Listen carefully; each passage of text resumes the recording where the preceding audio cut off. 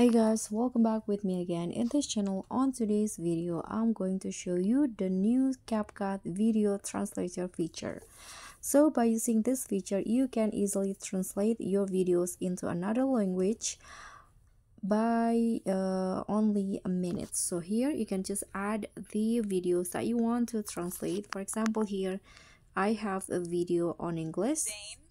welcome to Daddy this one and here I'm going to translate it into another language. So just click on the video on the timeline and swipe through the menu at the bottom and you'll see a video translator.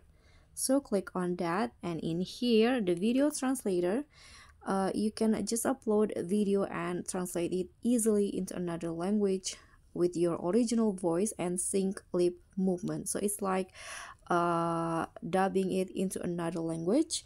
But there is some requirements. So the first one your video should be 5 to 300 seconds long and it should be steady and feature only one person for the optimal effect and in here uh, the supported language currently there are only three english chinese and japanese but more languages will be added in the future. So let's go back and here i'm going to choose english and here i'm going to translate it. Okay so i think uh, there are some uh, languages added like indonesian and portuguese so i'm going to try indonesian click on the language and click on apply. So after you click on apply there is this notice that you need to uh, write read and you can just click on the checks button and click on allow. Now CapCut will try to translate your video and this is the progress. You can see it's currently translating my video and you can just wait until it finish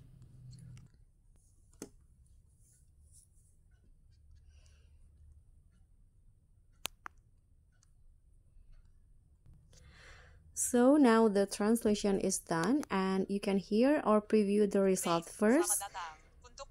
So it might not be working 100% so you can just uh, preview it first. If you like with the result if you're satisfied with the result you can just export.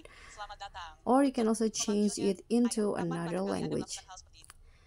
And that's all from me. Thank you so much for watching. Don't forget to like comment and subscribe. Also click on the thanks. Bye